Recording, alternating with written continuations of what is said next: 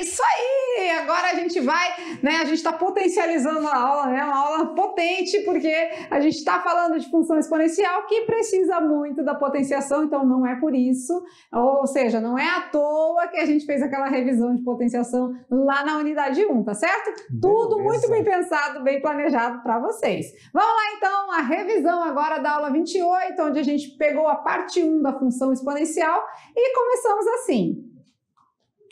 Função exponencial é toda função cuja variável x, ou seja, a incógnita, aparece no expoente.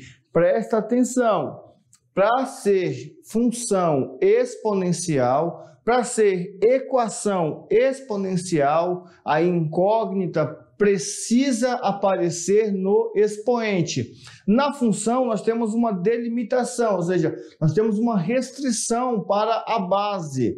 O f de x é igual a a elevado a x, onde a é a base da minha função. Essa minha base tem que ser um número maior que zero, mas ela não pode ser 1. E nós já falamos na aula por que, que ela não pode ser 1. Não pode ser 1 porque se ela fosse 1, ela não teria uma resolução aplicável, porque todo número né, que eu usar no expoente, a resposta sempre vai ser 1. Sempre, sempre. Então, quando a base é 1, não importa o expoente, o resultado da potência sempre é 1. E conhecendo a potenciação e aquelas propriedades lá no rap da potência, fica fácil resolver a função exponencial, tá? Outra dica aqui do nosso, nossa, né, dos professores matemáticos. Aplicação exponencial e logaritmo, um assunto aí na sequência, tá? Um assunto seguinte, sequencial as aulas. É importante focar a atenção para logaritmos e exponenciais. A teoria também cobra suas propriedades, ou seja, o calcanhar de Aquiles. E o que é mesmo calcanhar de Aquiles? Essa expressão que as pessoas usam? Nossa, é, é né? é tenso, é uma expressão, ponto fraco. É uma expressão popular que significa o ponto fraco da galera. Então, para você, aluno da mediação, não ficar aí, né, tendo esse ponto fraco com relação exponencial, lembra do rap da potência, você já vai estar tá com as propriedades aí guardadinha na sua memória, na sua cabecinha, né? E aí, né? Eu acredito que já por aqui tá bom, né? Fizemos uma revisão bem legalzinha, né? Falamos até de dicas aí, revisamos a parte que a gente viu aí na aula mesmo. E essa parte aqui é importante, tá? Se você, eu... se você lembrar das propriedades, você tem uma grande chance de se dar bem aí. Eu até dou uma sugestão para eles de que copiem, copiem, pega lá o rap da potência, copia o rap. Vocês perceberam que no rap alguma das partes estão em negritos, essa parte que está em negrito, você vai escrever com a caneta de outra cor. Por exemplo, se está usando a caneta vermelha, copia em negrito né, de vermelho e dá o destaque. Por quê? Porque o que está de negrito é justamente o que nós fazemos quando eu estou com aquela situação. Né? Agora eu vou multiplicar. Então, se eu vou multiplicar, os expoentes eu vou somar destaca isso. É importante que você entenda isso. É muito importante Isso, mesmo. né? E claro, colocando em prática, é hora de praticar. Vamos lá, a gente volta já já com a correção.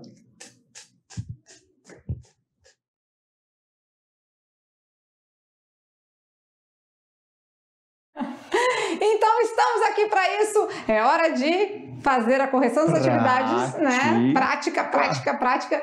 Correção das atividades de sala, tirar as dúvidas. Vamos lá.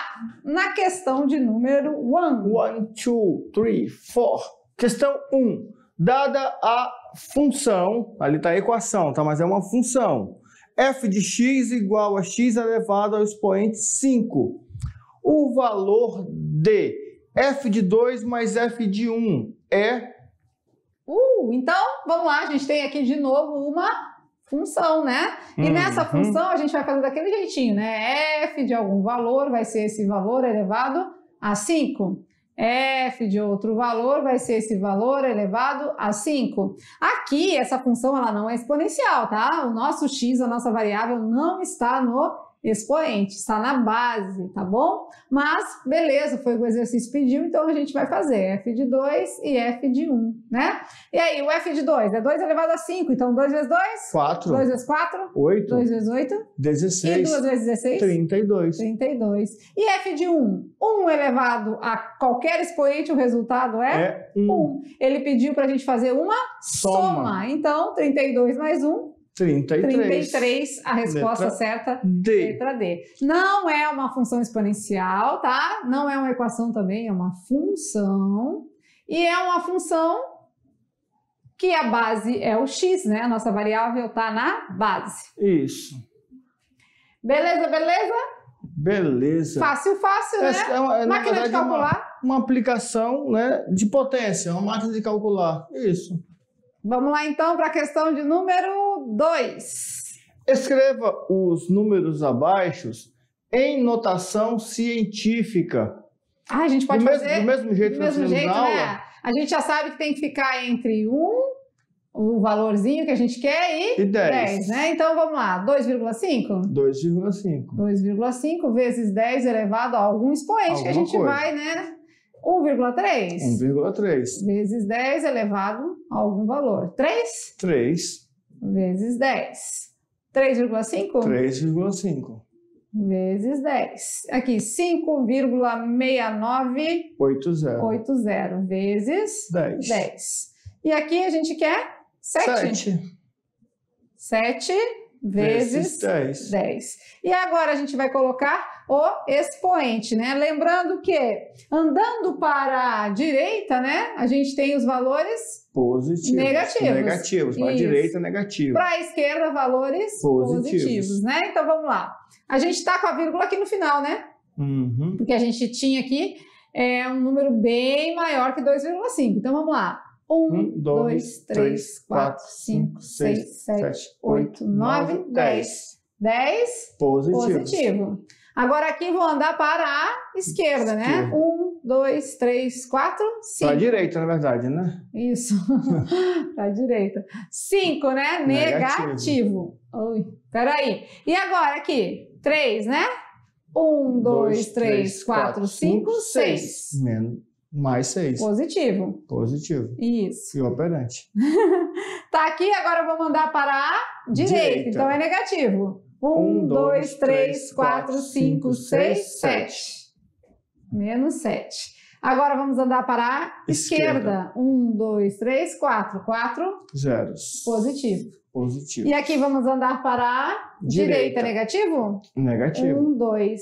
Menos, Menos dois. dois. Professor, mas esses zeros depois ali são os famosos zeros, né? Depois da vírgula não conta. E lá naquele número anterior também, lá no 5.000, é, 56.980, nem precisaria colocar aquele zero lá, tá? Depois da vírgula ele não tem valor nenhum. Verdade. Beleza? Vamos agora à questão de número 3, que está pedindo o valor da expressão, ou seja, a aplicação da propriedade. Propriedade da potência. Vamos lá então? O que, que a gente vai fazer? Todas vamos vamos as bases. cantar a música. As bases são iguais, né? Tudo é igual. Vamos lá então. Agora as propriedades eu vou decorar. Se for multiplicar os expoentes, eu vou somar. Somar. A soma, né? É uma soma. Só que aqui eu tenho 15, mas eu devo 13. 13. Então eu tenho, na verdade, Dois. 2, né? Olha esse C aí. É, não, era 10. É que eu ia começar ele aqui direitinho. Aqui. C C igual. igual, desculpa. C igual a 10 elevado a Dois. 2. Dividido. Agora as propriedades eu vou decorar. Multiplicar é soma, né? Soma. E 2 mais 4 É é seis. 6. Então, C igual. Agora, e se for dividir? Não vou me distrair. Agora os expoentes eu vou subtrair. Então, o resultado é 2 menos 6. Eu tenho 2, mas eu devo 6. Seis. Então, eu devo Quatro. 4. Ixi, não tem a resposta, né? Mas a gente não pode transformar isso aí? É 4 negativo? Ou é 4 positivo? Quatro negativo. Ah, é verdade. É porque aqui, ó, no exercício que foi para eles, professor Tá Maurício, dividido? é divisão. então vamos aqui, ó. corrigir ao Vamos corrigir, vivo. né? Então, no exercício que foi para eles, aqui ó, é uma divisão. divisão. Ah, então, então é na divisão, a gente subtrai os subtrai, expoentes. Fica né? menos 2. Ah, então vamos melhorar isso aqui e fazer do jeito que foi para eles, né? Aqui é menos 2. Beleza. E 2 menos menos 2 é o mesmo que 2 mais 2. Ou seja, esse C vai ser 10 elevado a 4. Aí também não tem nas alternativas, ah, né? Mas o que, que a gente deduz que é a mesma coisa que colocar o 1 e 4 zeros. zeros. Ou seja, alternativa B. Letra B. Então, no material que vocês receberam, tá dividido, tá? Aqui nós esquecemos de retificar. É muito material para corrigir, para olhar, mas tá aí, corrigido, feito, beleza? Belezura, belezura. Vamos no Se Liga no Enem? Vamos lá. E o Se Liga no Enem hoje não é uma dica, mas é uma atividade da FUVEST de 2009. Vamos ver. As células de bactéria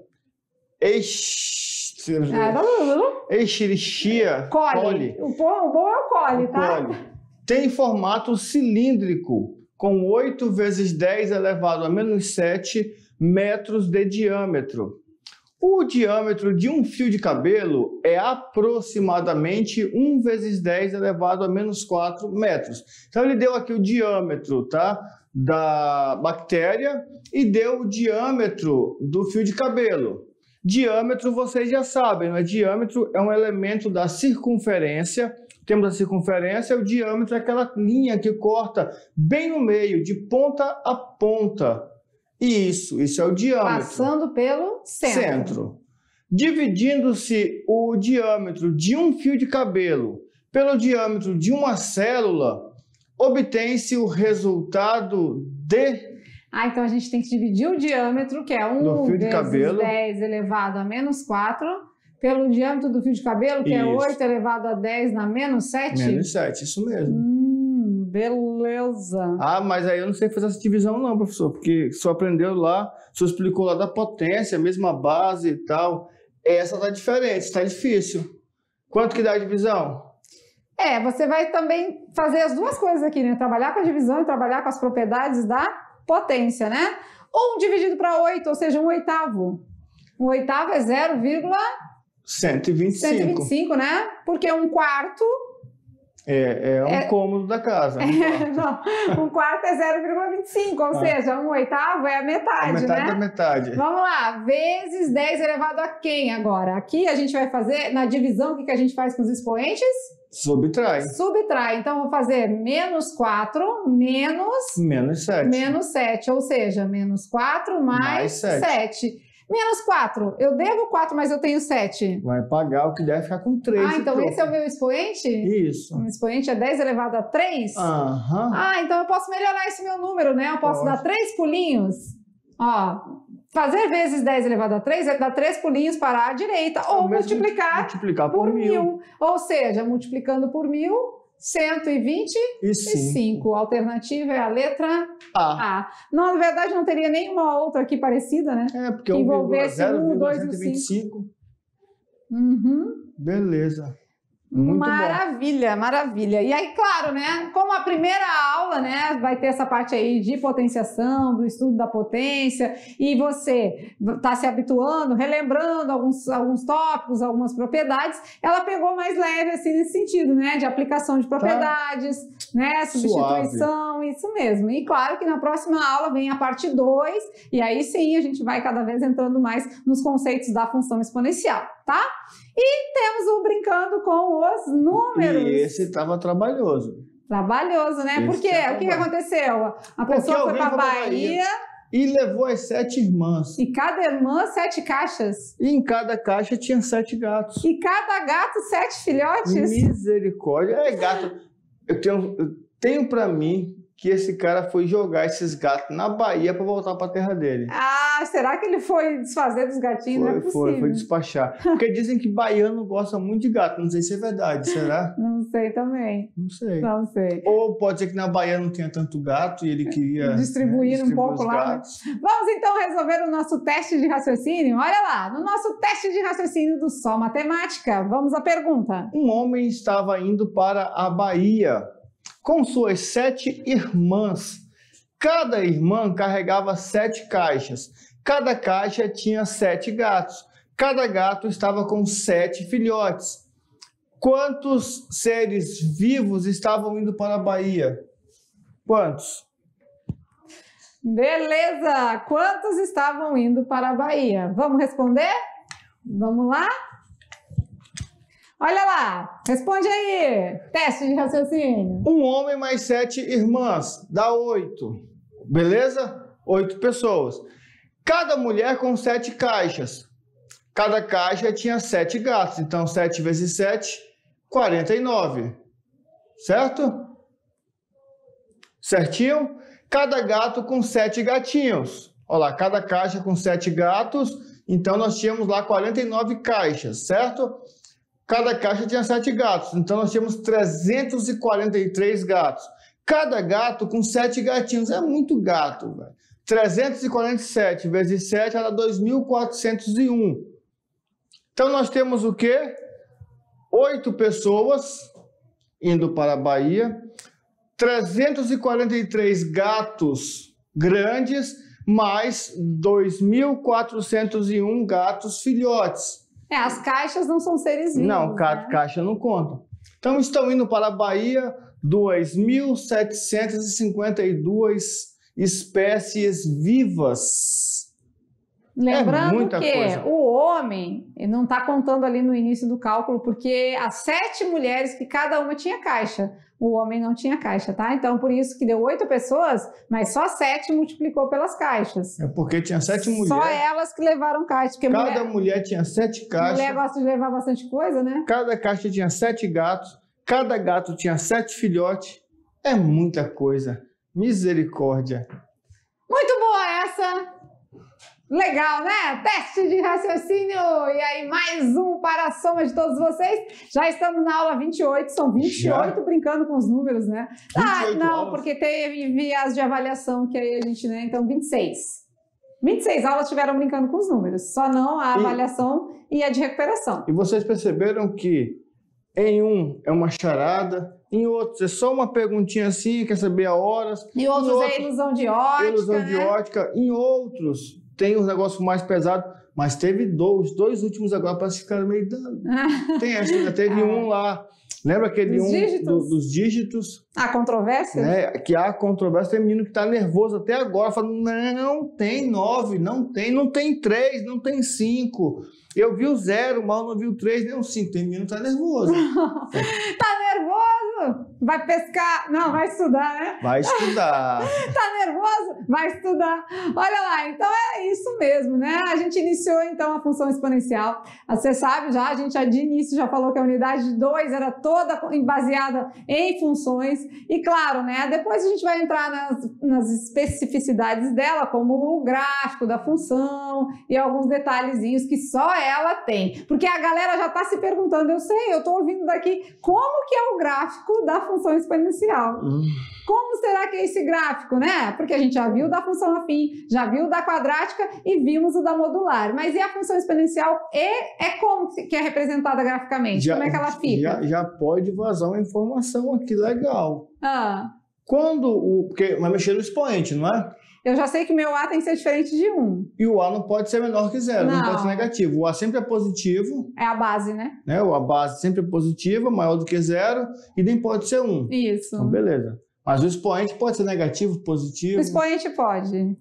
Número inteiro elevado a um expoente negativo vira uma fração. É, vamos pensando, vamos pensando. Tem tempo para isso. Vamos é, fazer os nossos, as nossas análises, vão imaginando aí. Aqueles que são mais curiosos já estão indo na internet pesquisar. Gráfico da função exponencial, é só fazer isso, né? Que aparece inúmeros gráficos ali da função e você já vai saber como que ele se apresenta no plano cartesiano. Enquanto isso, beijo no coração. Até a próxima aula. Tchau, tchau.